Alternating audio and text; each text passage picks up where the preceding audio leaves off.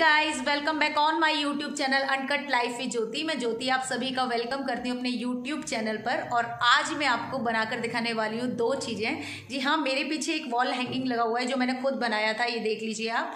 और इसी के साथ मैंने एक फ्लावर पॉट भी बनाया था जो आ, मैं आपको दिखाती हूँ वो सूखने के लिए रखा हुआ है। लेकिन मैंने ये दोनों चीज़ कैसे बनाई है किस वेस्ट मटेरियल से बनाई है वो मैं आपको स्टेप बाय स्टेप बनाकर दिखाती हूँ। तो चलिए let's get starting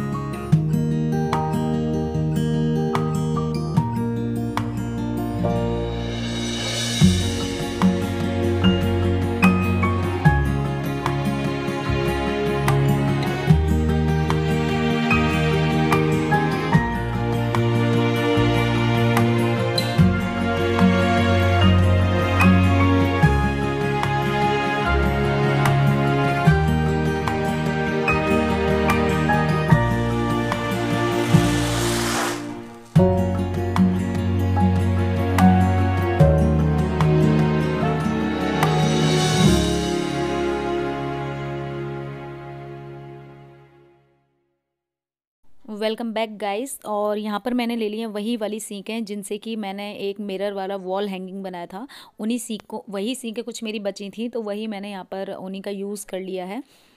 अगर आपने मेरा वॉल हैंगिंग, मिरर वाला वॉल हैंगिंग चेक इन नहीं किया तो उसको जाकर देख सकते हैं। वो बहुत सुंदर सा मैंने एंट्रेंस के लिए बनाया था। तो चलिए कम टू द पॉइंट तो ये फ्रेम मैंने बना लिया है जो ग्लू गन है, उससे मैंने ये सारी स्टिक्स चिपका ली हैं और इसको मैं कलर कर दूँगी ब्लैक कलर आप चाहें कोई भी कलर कर सकते हैं। मुझे ब्लैक कलर थोड़ा ठीक लगा क्योंकि मेरी जो वॉल का जो कलर है वो बहुत लाइट है तो उस पर ब्लैक कलर खिल कर आएगा, इसलिए मैंने ब्लैक कलर किया है। आप चाहें तो कोई भी कलर कर सकते हैं। और मेरा फ्रेम ऑलमोस्ट सूख चुका है, उसको मैंने पेंट कर लिया था और इसी के साथ मैंने यहाँ पर ग्लिटर शीट ले ली है, जो मेरे पास गोल्डन कलर में अवेलेबल थी। ये किसी भी बुक सेलर पर आपको मिल जाएगी। इसको मैंने कटिंग करके फ्लावर की शेप में मैंने कटिंग करके कुछ फ्लावर्स निकाल कर रख लिए हैं और सेम ही मैंने ब्लैक कलर में एक शीट थी, जिसमें से कि मैंने लीव्स को काट के भी रख लिया है। तो क्योंकि वो मैंने आपको नहीं दिखाया है इसमें, इसलिए मैंने उसको अब बता दिया है कि सेम यही शीट है ब्लैक कलर में, जिसकी कि लिप्स मैंने बनाई हैं। तो अभी मैं इनको लगा लूँगी इस फ्रेम पर।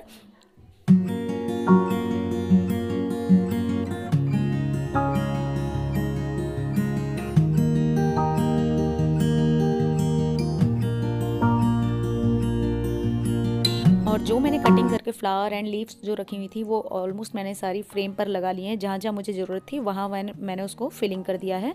आप भी कोई भी इस टाइप की कोई भी डेकोरेशन कर सकते हैं। आप चाहें तो नेचुरल फ्लावर्स भी यूज़ यूज़ कर सकते हैं।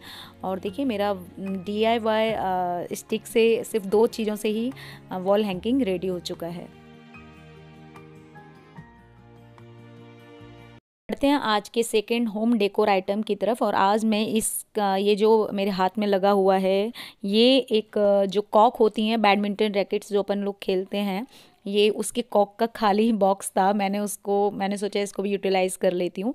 तो मैं इस पर जो स्टिक्स मैंने जिससे अभी फ्रेम बनाया था, उसी सेम वही स्टिक मैं इस पर लगाऊँगी। और देखिए मैं इससे कितना अच्छा सा एक एंटीक फ्लावर पॉट बनाने वाली हूँ, जो बहुत सुंदर लगेगा।